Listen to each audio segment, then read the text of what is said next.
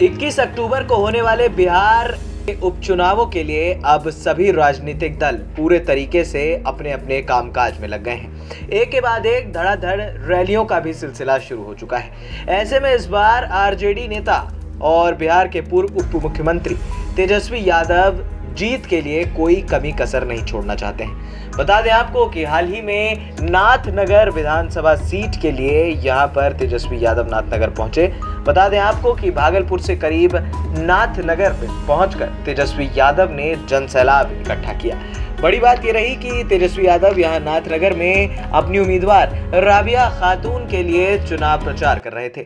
बता दें आपको कि जिस तरीके से बिहार उपचुनाव को देखा जा रहा है, ये अगले साल होने वाले विधानसभा चुनावों से पहले सेमीफाइनल के तौर पर देखा जा रहा है। वहीं दूसरी तरफ़ एनडीए की तरफ़ से यहाँ पर नीतीश कुमार कप्तान ज़रूर हैं, लेकिन अभी भी जेडीयू पूरे तरीके से ध्वस्त दिखाई पड़ रही है।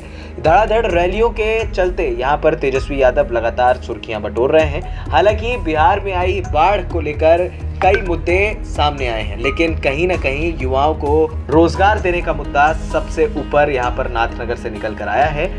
यहाँ पर पिछड़ी और अति पिछड़ी जातियों के लिए भी समर्थन हासिल करने की कोशिश की जा रही है। यानी कि हम ये कह सकते हैं कि तेजस्वी यादव की रैली का असर पूरे तरीके से नाथनगर के लोगों पर पड़ा है और राबिया खातून की जीत लगभग तय मानी जा रही है।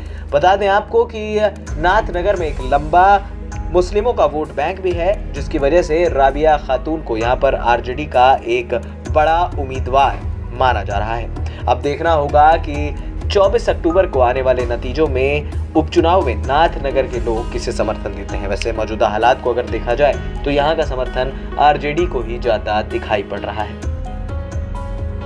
एलडी न्यूज़ रूम की रिपोर्ट।